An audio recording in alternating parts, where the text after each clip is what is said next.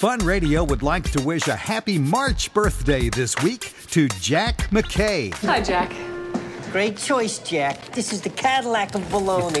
okay, thanks. Jack, can I talk to you for a second? Jack, Jack, hear me out here.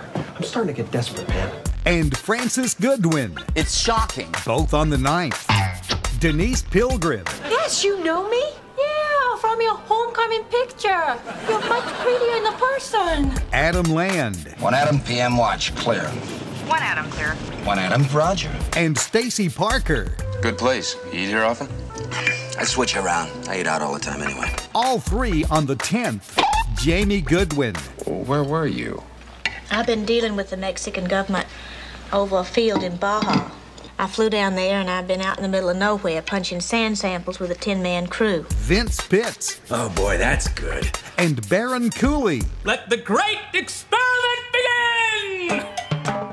All three on the 11th. Michelle Bright, Where did you hear that? From a very reliable friend of a friend of a girl whose sister is going out with someone very high up in the government. and Don Morrow. Where is he?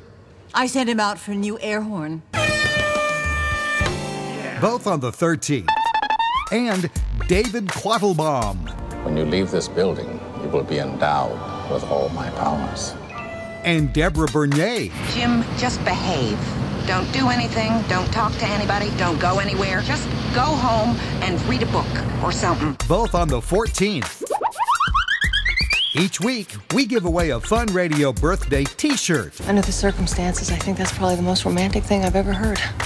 Thanks. Listen to find out who won this week's and contact Fun Radio at mail at funradio.us or call 864 261 8425.